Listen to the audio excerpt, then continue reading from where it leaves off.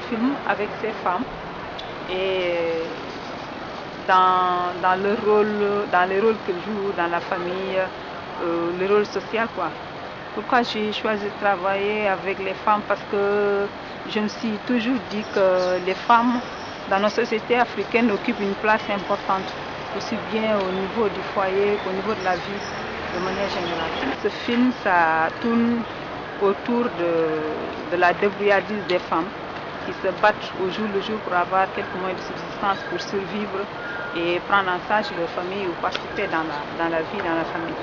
Et pour cela, elles effectuent euh, un travail que, qui généralement n'est pas comptabilisé, disons, par la société. Donc moi, je, voulais transmettre ça dans, dans ce film pour, euh, pour que les gens prennent conscience du rôle que les femmes jouent dans, la, dans, dans nos sociétés.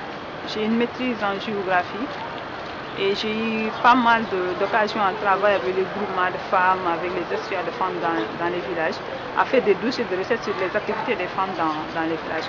Donc c'est comme ça que, m'est venue l'idée de faire un film sur ce, ce, cet univers de femmes un peu différent des femmes des, villes entre, guillemets, de par leur courage, de par leur détermination, de par leur conviction, de leur vision de, de la vie quoi, de manière générale. Nous, femmes, c'est-à-dire femmes africaines, on est différentes parce qu'on est combative et on est très forte. Et même si euh, quelque part on est un peu dans un construit social qui, qui quelque part aussi nous limite dans certains domaines, on arrive quand même à aller au-delà de nos limites, à, à, à, à prouver, à marquer notre, notre, notre statut et notre place quoi, dans, dans la société.